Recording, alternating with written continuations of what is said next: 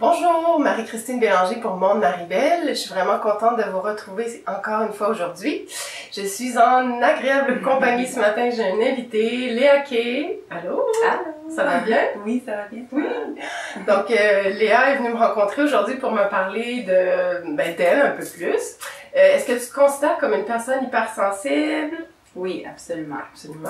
Oui. Est-ce que tu te considères comme une personne empathe aussi? Oui, Ok. ça aussi. Aussi, donc. Oui. Puis j'ai des pouvoirs magiques. Oh! Est-ce que tu veux nous en parler maintenant? Ben, si tu veux, je peux t'en parler tout de suite. Ok, ou on pourra peut-être garder ça pour bon. la partie où on parle des côtés positifs d'être empathe. Génial. Est-ce que Ok, penses? ça marche. Euh, Est-ce que tu voudrais me parler un peu de ton travail, puis de quelle façon cette hypersensibilité-là influence tes choix dans ton travail ou ta façon dont tu travailles? Oui, absolument. Fait que moi, je suis coach de vie, coach en affaires pour les gens hypersensibles euh, ou les entrepreneurs spirituels qui sont habituellement hypersensibles ou empathes.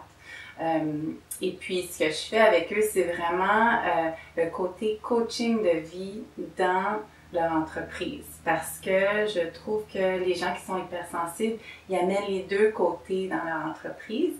Puis là, souvent, ben, Qu'est-ce que tu veux dire par les deux côtés? ben, les deux côtés comme leur vie, toutes les émotions qui viennent avec leur vie et aussi euh, leur, leur entreprise. Business, donc, euh, ouais. donc, les deux se relient très fortement. Puis si ils ne sont pas capables de gérer leur vie, mais ça déborde sur leur entreprise. Oui. Alors, c'est ça que je fais. Je fais beaucoup de coaching de vie, je dirais à peu près 80% de coaching de vie, puis euh, 20% stratégie, ce qui est super facile, facile, mais très difficile à, à mettre en, en, implant- en, En application? Oui, en application, Uh-huh. exactement. Mettre en application pour une personne qui est hypersensible parce qu'il ressent tout ce qui se passe dans la vie quotidienne. Hmm. Ouais. Ça me parle beaucoup, ce que tu dis. Euh, Est-ce que ça fait longtemps, toi, que tu as pris conscience de, du fait que tu étais hypersensible et empathe? As-tu un, un moment où tu te souviens d'un déclic où ça s'est fait tranquillement?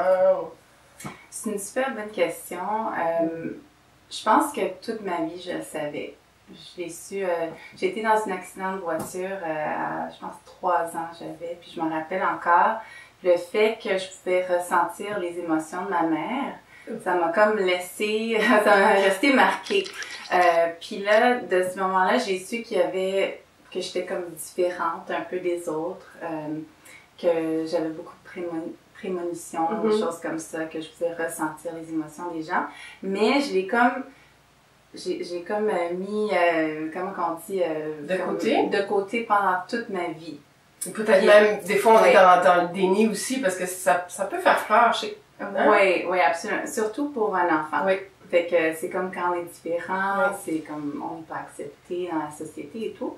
Donc, euh, ça fait cinq ans. Euh, j'ai eu un mentor, quand je me suis lancée en affaires, j'ai eu un mentor qui faisait quelque chose comme un, un cours en miracle en affaires. OK. OK? Puis elle parlait du monde hypersensible, puis elle, elle donnait toutes les caractéristiques. Je me disais, mais c'est moi ça? Wow. Puis tout d'un coup, j'ai comme eu l'impression, ben, c'était comme une réalisation pour moi, c'était comme si j'étais chez moi. comme je me suis retrouvée Ouais. dans ce moment-là, puis euh, depuis ce temps-là, ben, là, je suis vraiment contente.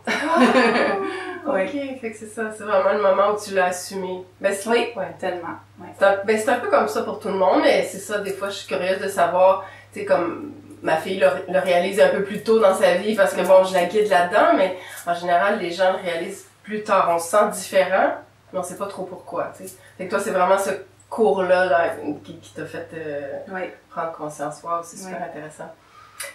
Hum, on est rendu maintenant à la partie peut-être intéressante. Est-ce que tu pourrais me parler des côtés positifs que tu trouves être euh, hypersensible ou empathe ou les forces que ça peut te donner? Tu parlais de tes pouvoirs magiques tantôt. Est-ce qu'on est rendu à la révélation des pouvoirs magiques? Ben, euh, je trouve qu'il y a- y, a beaucoup de force. Euh, mais en même temps, il y a beaucoup de faiblesse. Oui, mais ça, ça vient après. Je sais pas par quoi tu veux commencer. Moi, j'appelle ça les ah, défis. ouais, J'appelle même pas ça des faiblesses, j'appelle ça quels sont nos défis? Mais bon, est-ce que tu peux euh, commencer par les forces Oui, ou les oui, défis? oui, je vais commencer par les forces qui, des fois, sont si, ils font partie des faiblesses. OK? Fait qu'on va, ouais, sont, sont liés quand même. Donc, euh, une des choses, c'est que je sais quand quelqu'un ment. Mhm. Ça, c'est le fun. C'est Mais c'est c'est un peu pas fun aussi, là, ça, ça peut être plate. Mais bon, euh, si, euh, si je suis en réunion ou quoi que ce soit, je peux connaître l'énergie des gens, leur intention. C'est un peu comme, sais, euh, être, euh, comment on dit, euh, Tu peux le dire en anglais ça like psychic, Oui, oui. Oui. Mais, ben, médium, mais intuitive. Oui, Ouais, intuitif, c'est ça. Oui. Fait que ça, c'est une des forces, d'être très intuitive Mm. euh, par rapport aux gens qui sont autour de nous. Ouais. Euh, Ça, je te dirais, c'est plus le côté empathe. Les empathes, on va justement Oui. à sentir l'énergie subtile. Donc, euh, Oui. c'est ça. Absolument. Quoi d'autre? Ben, les rêves, j'ai, j'ai, mais pour les forces, j'ai beaucoup de rêves, puis euh, souvent je, je vais rêver et euh, le lendemain, quelqu'un va me dire Ah, telle chose est arrivée, mais je le savais déjà. Mm. Euh, des fois, c'est, c'est comme, c'est pas des, de très bons rêves, mais Mm. souvent c'est des bons rêves, puis ça, ça marche. Aussi, quoi d'autre? Si quelqu'un me... Souvent, les gens vont venir vers moi pour me parler de leurs problèmes. Mhm. ça, c'est très hypersensible. Oui, c'est ça. Mais ça, faut gérer aussi. est- hein. Ça peut devenir un, un défi aussi. Oui, absolument. Mais il y a des trucs pour le Oui, oui. faire. Va s'en parler après. oui, absolument. Euh, fait que les gens viennent parce qu'on, en tant qu'hypersensible et empathe, on, on écoute très très bien. Euh, fait que les gens viennent vers nous. Ça, c'est une grande force parce que, euh, c'est juste être dans la rue, les gens vont venir euh, vers moi ou même vers mes enfants, parce que mes enfants, comme les tiens, sont hypersensibles. Donc, euh, ils vont venir me parler de leurs euh, problèmes, de, de tout ce qui se passe dans la vie. Euh, Je sais pas si ça t'arrive, des fois, moi, je marche sur la rue ou je vais faire ma promenade et j'ai pas l'impression de sourire, mais les gens vont me sourire. oui, Je dis, ah, ben, je dois avoir une, non? Oui, Une c'est énergie. comme dans ton énergie. c'est ça. Oui, oui. Euh, quoi d'autre? Euh, c'est du monde qui sont très, très créatifs. Oui. S'ils prennent le temps de se grounder, de se centrer. Donc, toi, t'as un grand côté créatif aussi. Oui, oui. Euh, surtout quand je m'en vais en nature, euh, puis je reviens, puis je suis comme vraiment boostée. C'est comme si euh, j'ai eu comme euh, des, des downloads créatifs. Et ça, c'est vraiment le fun. Cool. Maintenant, on rentre dans le vif du sujet. Non. le côté défi, ou ben toi tu parlais des faiblesses, là, mais moi je Oui. j'aime pas dire des faiblesses parce que je trouve ça trop négatif. OK. Ben, mais tu sais quoi? Avant, je pensais que c'était des faiblesses. Ça. Avant que je le sache. C'est ça. Que je pense que c'est vraiment important pour les gens qui Oui. écoutent. Euh, que, tu sais, ils pensent que c'est leur faiblesse, ou en anglais on dit des shadows, Mm. euh, où on, on est comme souvent, euh, on va dire, ok, je vais, je vais donner un exemple. Mhm. Euh, avant, euh, quand je sortais dans les réunions où euh, il y avait comme des grandes foules et quoi que ce soit, je, je comprenais pas pourquoi il fallait que je retourne chez nous après, euh, puis que je comme je sois en silence, puis sans personne pendant à peu près, je dirais, 8 heures de temps. Il fallait, il fallait que je gère mon énergie, mais c'est parce que euh, il y avait comme, ben, moi, je me protégeais pas Ouais. de toutes les énergies des gens, puis je les absorbais au fur et à mesure. Donc ça, c'était une grande faiblesse dans le temps, parce ça. que ouais, je, je ressentais de la colère, j'étais comme, pourquoi je suis fâchée? Il y avait rien qui se passait. Mhm.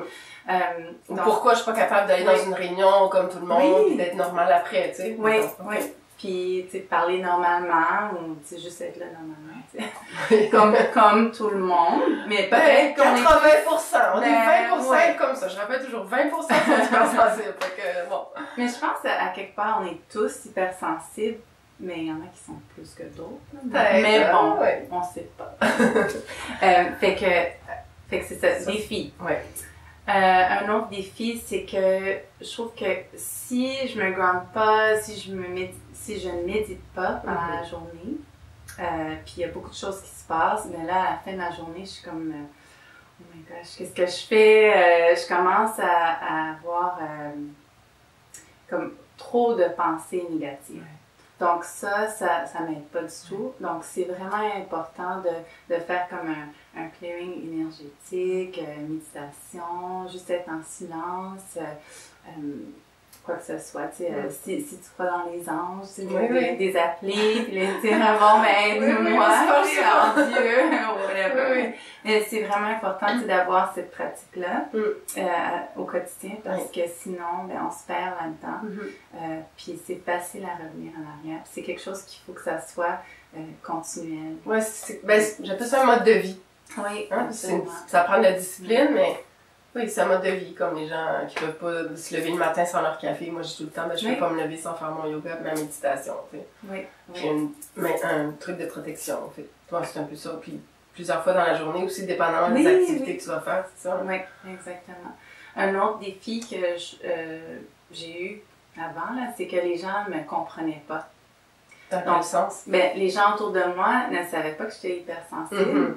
Puis même maintenant, il y en a qui savent pas, mais ça m'affecte plus. Avant, c'était comme, ah ben là, ils comprennent pas que j'ai besoin de mon temps, j'ai besoin de mon espace et tout et tout, pour un, pour un moment, puis après ça, je suis correcte. Mais euh, c'est comme si je m'entourais de monde qui ne me comprenait pas, donc ça ça aidait pas le processus non plus Ouais. dans la démarche de assumer que je suis hyper, hypersensible en pâte et tout. Ouais. Ouais. Hmm. Fait que ça, c'était un, grand, un gros défi. Ouais. Euh, fait que vraiment de s'entourer de gens qui, qui te comprennent. Oui, puis l'exprimer aussi plus Oui. clairement, parce que je pense que des fois, pour nous, c'est tellement évident.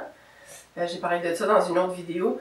Je pense qu'il faut qu'on prenne la responsabilité aussi de dire j'ai vraiment besoin de ça. J'ai vraiment besoin d'un time-out. C'est pas parce que je t'aime pas, c'est pas parce que je veux pas te parler, mais on se parle dans 10 minutes, je reviens. Si, bon, dépendamment Oui. de la personne, euh, que ce soit même nos enfants qui sont un peu plus vieux, je vais répondre à ta demande tantôt, mais là, je suis comme trop.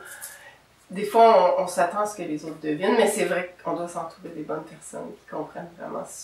Oui, je suis d'accord avec toi. Que ce soit amis, collègues de travail ou euh, Oui, relations intimes, oui. oui, absolument. Maintenant, Oui. j'aimerais te donner le micro si tu as envie de dire quelque chose, justement, euh, ben, à tout le monde qui nous écoute, dans le fond, pour. euh, comment dire Qu'est-ce que tu as envie de dire pour qu'on on soit plus compris ou euh, quelque chose que toi, tu pourrais dire qui permettrait aux gens de comprendre notre réalité ou un message que tu as envie de passer, là, peu importe. Oui, c'est juste de, de prendre le temps de s'entourer de bons mondes qui comprennent. OK? Ça, c'est une des choses. Puis c'est vraiment important de savoir que c'est une grande force d'être hypersensible. Euh, comme j'en ai, parlé, ou on, on a comme brièvement parlé au début, c'est qu'on a des pouvoirs magiques. Et effectivement, on en a. Parce qu'on peut ressentir les émotions des autres. euh, puis ça peut être des défis comme ça peut être une force aussi. Mhm. Donc, si, si tu penses que tu es différent, euh, ou si tu as, toujours eu comme une prémonition ou euh, un, un ressenti qu'il y avait quelque chose de différent, que tu avais des, des pouvoirs magiques, euh, ou tu es un grand créatif qui, qui a beaucoup de résistance à créer, qui, euh, euh, qui aimerait en donner plus au monde, c'est vraiment important de t'entourer du monde qui peuvent t'aider à euh, comprendre l'hypersensibilité. De lire des livres, euh, d'écouter des chaînes YouTube comme la tienne, des choses comme ça. Oui. Euh, parce que le, de ce que je comprends, les hypersensibles, fait que le 20% des Mhm. hypersensibles dans les statistiques, Ouais. OK? Euh, 20% sont hypersensibles, mais dans les 5% des hypersensibles, euh, 5% sont entrepreneurs, entrepreneurs de cœur. Mhm. Puis ces entrepreneurs-là sont là pour aider l'humanité. Ouais. Donc, si tu penses que tu es hypersensible, tant mieux. Si tu penses que tu es, entrepreneur et hypersensible, mais tu as, un gros projet de vie. OK? Faut ça, bien c'est vraiment s'entourer. important. Grosse mission, oui. Une grande mission, tu sais, d'aider l'humanité. Mm. Puis euh, finalement, tu sais, si, si t'es hypersensible, t'es ici sur Terre pour faire quelque chose de plus gros.